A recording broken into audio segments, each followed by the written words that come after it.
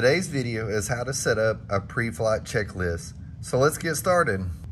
Setting up a pre-flight checklist is a good idea if you're an experienced pilot or a beginner pilot. This allows you to make sure that your aircraft's ready to go in the air and also keep you from having maybe a crash or an issue pop up by using a simple pre-flight checklist. So what you want to do is push enter, scroll down, you're going to go into the system setup, click yes, and then scroll down to pre-flight setup. Now you can see I've already got a few things listed on the screen here. The way this works is you can set up seven different pre-flight checks and when you activate them, whatever's out to the right will pop up on the main screen. When you go down here and push enter where it says inhibit, it will say ACT, which is active. So now we would have one out of four items for our pre-flight checklist. First would be wing bolt secured. Let's go ahead and turn on prop secured, battery charged, and canopy attached. Down at the bottom, you have modulation. That's inhibited or active you want to turn active on. So just because you make these active at the top doesn't mean that they're enabled. You have to go down here and activate the pre-flight setup list. Then you have execute, which is per session and every flight. We're going to set it up for every flight. Now let's back up. And when we go out of this menu and go to our main menu, we're going to see our pre-flight checklist pop up. Here we have the four items to make sure we've done. And then you'll notice at the left, you have a box and it's highlighted. As you do these things, you push enter to check them off the list. Now you notice that you can scroll up and down. So if you happen to do one out of order, but you've already done it, you can go ahead and select that as well. So for example, let's say we've already made sure our battery's charged. We can go down here, click on battery charged, wing bolt secured, prop secured, canopy attached. Now we're at the main menu. Now let's go back and look at a few other things in the setup.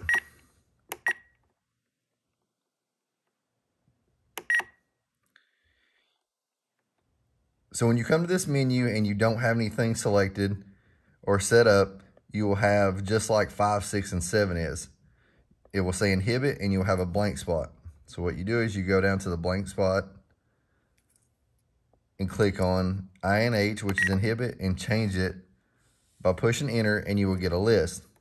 The list is kind of short. However, there is a lot of useful presets already set up in this menu.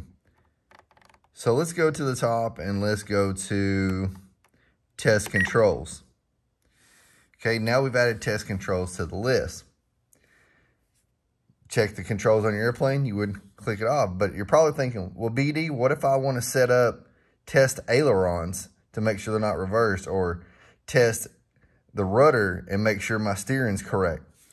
What you can do is once you pick something on that list, you can push enter and you can go in here and you can label what you want on the pre-flight setup that's not in that menu we were just looking at. So for example, instead of test controls, let's go to type in check ailerons.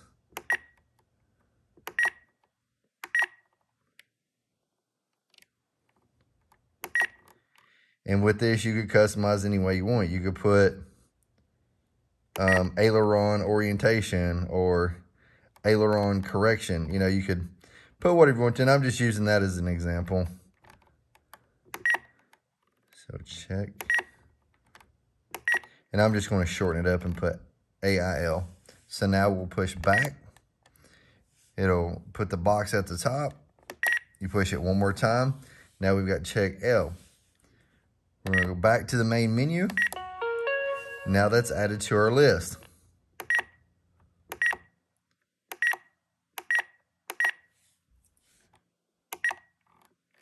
Additionally, you can go to system setup and let's go back into the pre-flight setup. If you want to remove something that you already put on there, so for example, if we want to take this off, we'll click enter, push enter at the list at the top. You need to go to the very end.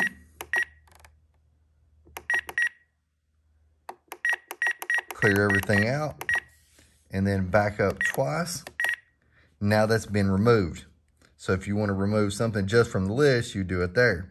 As I mentioned earlier, if we want to remove something out of the middle, let's say we only want prop secured and attached canopy.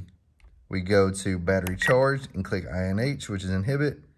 We go to the top, click inhibit on wing bolt secured. Now let's back up. You'll notice that we only got the two that we just talked about. So that's the basics of setting up the pre-flight checklist. If you found this video informative or learned something new today, go ahead and like the video. If you want to see future videos, subscribe to the channel while you're here. I appreciate y'all watching, and we'll see you on the next one.